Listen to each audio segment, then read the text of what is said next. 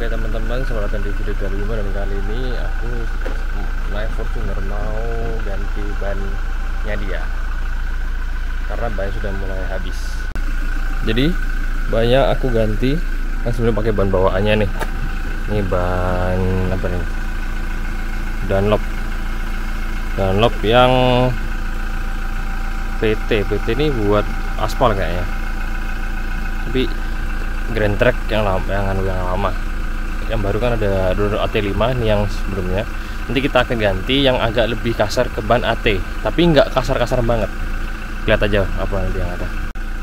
Nah sebenarnya yang menarik dari ban ini adalah bukan traksinya bukan apa-apanya di tanah ya biasa aja di aspal ya biasa aja. Cuman yang suka desain dari sampingnya sideballnya ini ini kayak desain desain sideball ban rally ini sampingnya. Depan juga sama ya ukurannya sama juga. Nah sebelumnya ban ini keluaran 2017 tapi mobilnya 2018 karena dia NIK nya 17 tapi kita belinya di 18 eh apa namanya mobilnya dipakai 2018 awal. Jadi termasuknya banyak 2017 tapi bukan kilometer putarannya. Nah ban ini pakai ban 265 60 18 di welgnya ring 18 lebarnya 265 tebalnya 60 nanti bakalan aku tebelin lagi biar dia agak lebih tinggi. Jadi kalau buat uh, mau travel travel atau apa dia agak nggak terlalu nyusahin. Dan tapi minusnya buat di handling dia pasti akan berkurang karena banyak terlalu tebal. Udah kita coba dulu ya. Ntar, nggak enak kemarin tangga dimaju dulu kita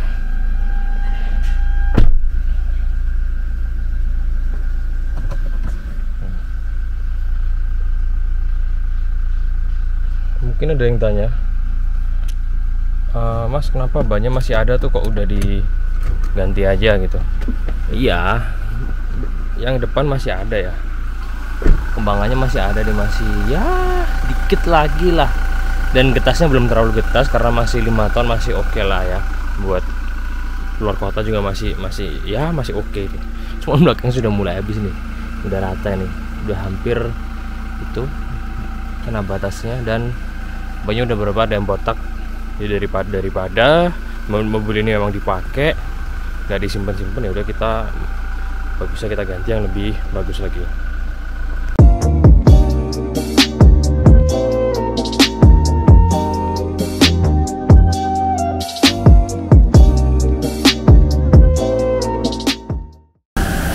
kenapa kok bannya yang atas sama bawah lebih beda? Yang atas itu ban belakang dan yang bawah itu ban depan yang dipakai di roda depan. Kenapa? Ban belakang era kalau mobil RWD itu lebih habis di belakang karena dia penggerak belakang RWD. Nah, data Drop ini kan kebetulan dia RWD dan dia lebih seringnya dipakai eh dia 4 kali 4 cuman lebih sering dipakai RWD. Jadi otomatis yang lebih makan ban belakangnya. Ban depannya masih masih ada kembangannya dikit lah jadi yang tebel itu pastikan di tempat yang penggeraknya. Misalnya mobil kalian FWD city car dan lain-lain. Ban depan yang mesti lebih tebel dan lebih enak buat kontrolan juga. Kalau RWD dia ribetnya ban belakang habis baju cepat habis tapi ban depan mesti bagus juga karena buat kontrol di setir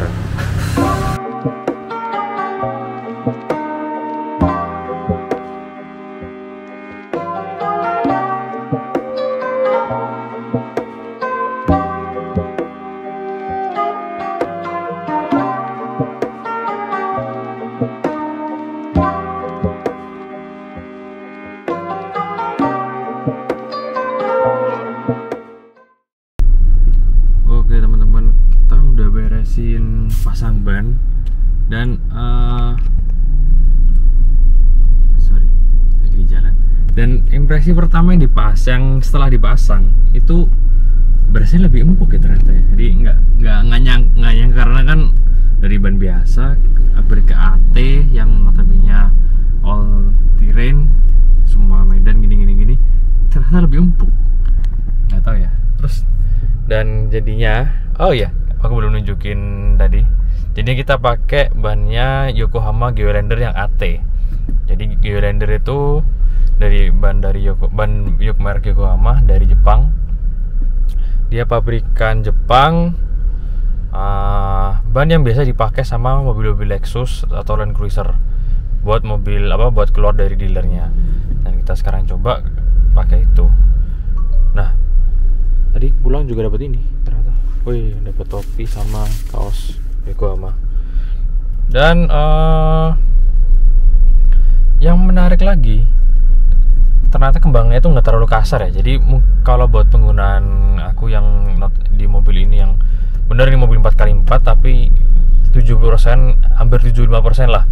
Itu penggunaannya di aspal sisanya mungkin baru luar luar kota baru yang jalan-jalan off road jadi nggak terlalu banyak off road jadi kembangnya itu nggak terlalu yang mencolok tapi bisa ke, mungkin moga-moga bisa mumpuni di medan off road nanti bakal kita coba aja deh jadi jadi mobil belum sempat disepuring cuma di balancing aja. Kita coba sepuring dulu di deket-deket sini. Lampu merah. Wih, lumayan juga dapet kaos sama topi Yokohama. Souvenir dari Yokohama. Mantap lah di Highlander ya uh hujan dong rintik-rintik ya mobil masih bersih. Ya wes lah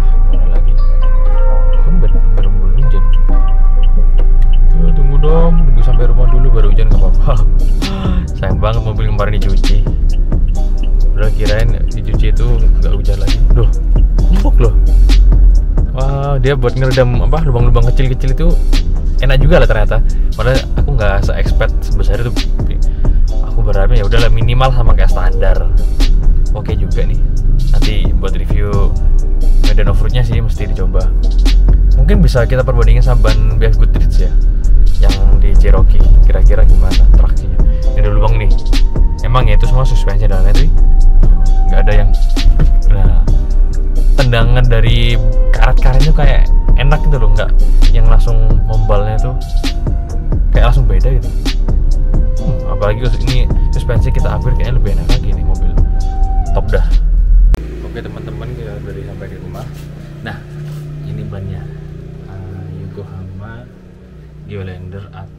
AT G015 ukurannya kita pakai 265 65 18 Oke, cerita sedikit.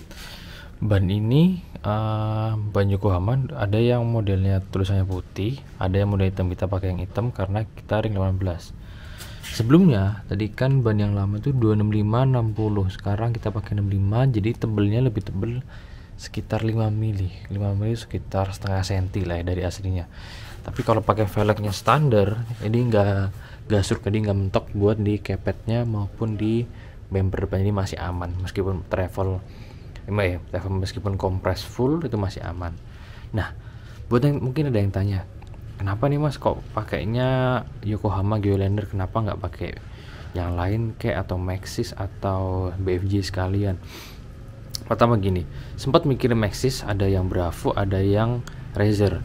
Cuman kalau Maxis itu hmm, request dari bokap gua dari bapakku itu request buat mobil ini biar kelihatan itu nggak terlalu off road banget. Jadi kan masih sopan di bawah harian jalanan itu masih sopan tapi nggak mengurangi performa untuk traksi di tanah atau di bebatuan. Nah buat ngekalinya aku tebelin di 5 mili itu pakai yang 65 tebelnya jadi biar agak lebih tinggi dan lebih, lebih, lebih tebel dikit jadi selain lebih tinggi juga traksinya lebih ya membantu sedikit lah satu rodanya kali empat jadi lumayan lah.